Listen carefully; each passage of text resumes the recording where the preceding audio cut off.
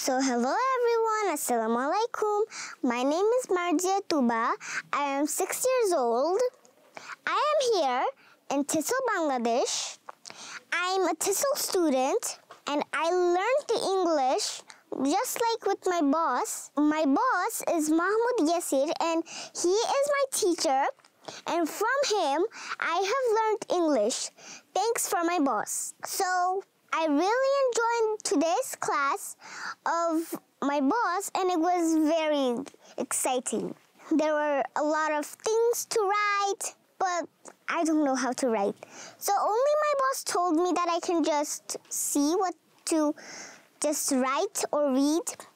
So I just told still. And my boss always helped me. Even when I go home, I have another boss.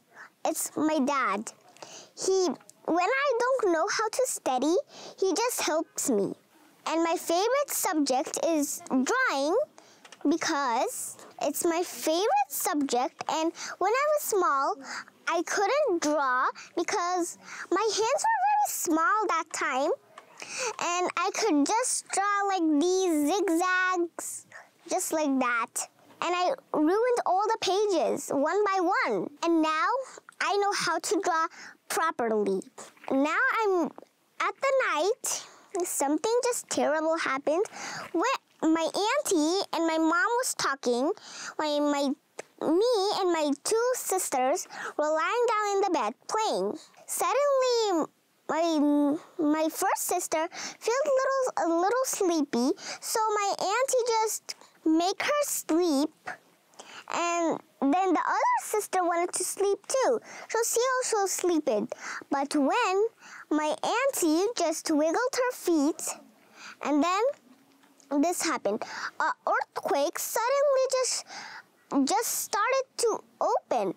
Wait, and it started to shake this way, that way. I I was just sleeping. I didn't feel anything in my body. Then when my mom just shouted, I suddenly woke up and I didn't know what was happening. So my mom and my aunt carried my two little sisters and they went on the pillar. Then my mom was shouting and she was told to come beside my mom. I just walked and I didn't, I just ran to my mom. I didn't know what was happening. I thought they were doing acting, but when I stepped in the peeler, I heard some noise and I thought that this was an earthquake happening. I stayed calm, I didn't do any shouting. Why my mom and aunt just cried and cried, they were very scared. But then when I was feeling very scared of this earthquake, my head started to spin. Even my mom's, my aunt's, even my two little sisters ones. I mean, they were asleep. That's why they didn't feel anything. So my head was always just spinning, and then my dad came with that pretty bottle just for me, and also for my sisters too. So my daddy came, and my aunt, my mom, even me started to told everything what happened. So I just panicked down, and then I told everything what happened. Even my mom and my aunt started to be a little calm by telling everyone, and they, the hurricane, I mean, the earthquake stopped. And when the earthquake stopped, the electricity, the electricity went gone. Then my dad suddenly came knocking at the door. My my aunt and me was sitting in the bed with my two sisters. Mom was leaving, but me and my aunt was scared because we didn't have lights. Then my mom, I mean me and my aunt started to scream. And then mom said that you can come too.